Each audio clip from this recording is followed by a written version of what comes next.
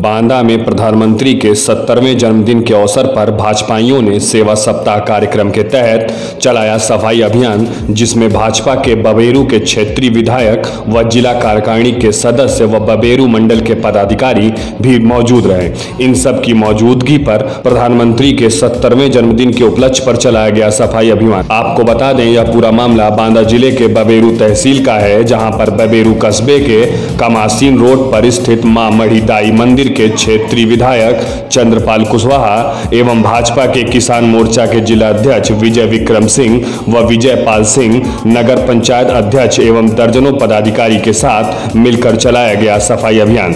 वहीं क्षेत्रीय विधायक चंद्रपाल कुशवाहा के अनुसार बताया गया कि प्रधानमंत्री नरेंद्र मोदी के सत्तरवें जन्मदिन के अवसर पर एक सप्ताह का कार्यक्रम आयोजित किया जाएगा, जिसमें प्रतिदिन नगर में सफ़ाई व अस्पतालों पर फल वितरण आदि का कार्यक्रम किया जाएगा। मामला कार्यक्रम है माननीय प्रधानमंत्री नरेंद्र मोदी के सत्रहवें जन्मदिवस के अवसर पर।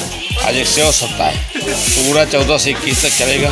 सफ़ाई कार्यक्रम फल वितरण के लिए उनका उपकरण वितरण इसी कार्यक्रम इसी के तहत आज तय था कि सफ़ाई कार्यक्रम हो स्वच्छता कार्यक्रम ये कार्यक्रम जो अच्छा कहाँ चला गया सफ़ाई कार्यक्रम सफ़ाई कार्यक्रम जो की प्रसिद्ध मंदिर है माँ मणि दाई का मंदिर।